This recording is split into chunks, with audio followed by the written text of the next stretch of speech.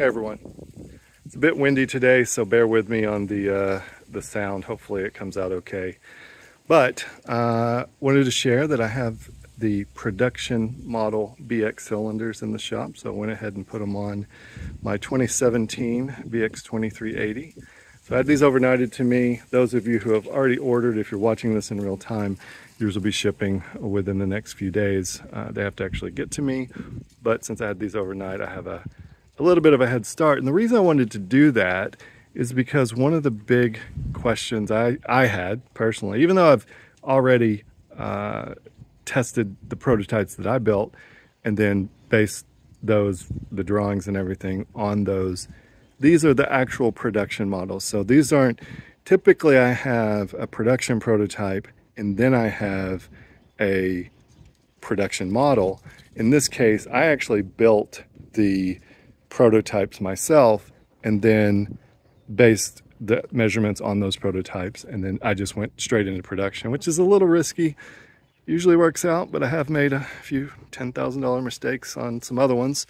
Um, hopefully not doing that anymore. And uh, and in this case uh, it was not a mistake. It was good because we'll bring them to the market sooner and uh, and get them out to, to the people who want additional lift capacity as well as additional lift height now, if you watched the previous video, I tried to put the tractor in the same spot, and I'm pretty sure I'm very close to it. You know, we're not getting down to the millimeter here. Uh, one of the big factors that you're gonna have are what kind of tires do you have? Do you have the R14s? Do you have the R4s like I have? Do you have turf tires? What is your pressure? What is your concrete like? I tried to find the, you know, the smoothest concrete when I did the measurement. So I've made the measurement, I know what it is, uh, but I'll try to show it to you in real time here. So that said, let me talk a little bit about what these look like compared uh, to the stock ones. Now, in the in my prototypes, ended up getting, uh, I think about 11 inches more. It was 65 inches with the stock and then uh, I think it was like 76 and a half or something like that for the HydrosPlus prototype version. And what I did after making the drawings, I squeezed out as absolutely as much as I could because I was able to test it and I knew where the clearances were. So um, we'll, we'll see that in just a minute. But as you can see, this is a larger bore. So it's 1.75. This is 1.5. This actually 1.75 is the same bore size that you get on the LA525 from the factory. Now that doesn't mean you can necessarily lift as much, but it does mean that the same pressure, this cylinder will push as much as the uh, factory or stock version of the LA525, which is on a much larger tractor.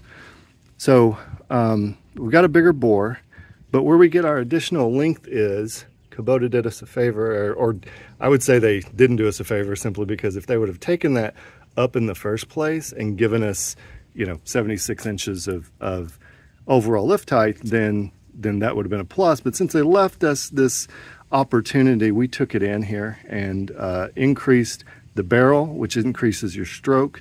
But the important part is we left the uh, retracted length the same. That means we can bring the loader down to the exact same level on the lower side, and now we can actually go higher. So uh, one, only one small nuance to this is that you have uh, this port is a little bit further forward, and all that really does is takes a little bit of tension out of out of this. Uh, it doesn't have as much slack as it would before because it would have normally connected about right here, and now connects here. Not a big deal. I'll have a, an additional zip tie because you have zip ties on it now. I don't have my zip ties on. But um, because of that, you know, that, that stretches a little bit. But other than that, it is a uh, bolt-on replacement. And as you can see, uh, quite a bit more lift height.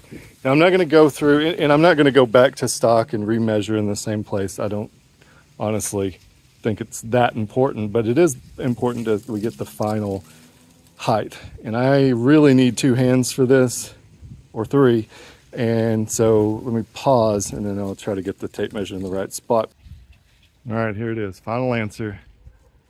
And my best judgment based on my vantage point, which is way down here, is 77 and three quarters. So it's as straight as I can get it in both directions and I measured in two spots, but with only one hand, it's kind of tough to do. So you know, does it matter if it's 77 or 78 or somewhere in between? Directionally, you're getting, it was 65 and a quarter before, so directionally you're getting uh, 12 and a half more inches based on what I just measured. If you've got different tires, if you've got something else going on, you know, you may end up with a slightly different answer. But a foot more, just directionally, for this tractor is a very big deal. And I mentioned it in the previous video, the way Kubota builds their loaders, they actually reach out further. And so this puts it, I think, more on par with as far as the difference between the hood and the end of the bucket with uh, something like the John Deere. Now, you can't, uh, it's too many apples and oranges because that bucket is tiny, the John Deere bucket is further out. Uh, but at the end of the day, you can clearly see is as you go down, you can only dump to this level here. I don't know if, can I dump without starting? Yeah, there we go. Yeah, so dumping, you can clearly see that you are not gonna have any concerns of dumping gravel on your hood, at least this way. This way might be a different story.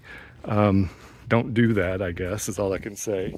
Uh, I think it's probably a risk. Yeah, for an NSL loader, it's going to be a risk no matter what, but you can dump more of it on your hood if you so choose. Um, okay, well, that's it. That's what I wanted to show for today. More stuff coming for the BX and other Kubota models. Uh, the next thing for this tractor uh, is most likely going to be the turbo. It's second in line, and I've just wrapped uh, the turbo, turbo work for the, at least the 1025. There's still 1023 that has to be looked at, but but I've already started on this one, so I don't think it's going to be a whole lot further behind. Um, got a lot of the the kinks of turbo things worked out, which should make this much faster than the previous one. Um, so if you haven't subscribed already, consider doing so. Also go to the website and and subscribe there with your email address. I send a monthly newsletter, usually nothing more than a monthly newsletter. If you're a customer, you'll automatically get that. But um, I don't try to spam people, I just try to keep you informed of, of what's coming and what to get excited about. Questions, comments, leave them below. Thanks for watching.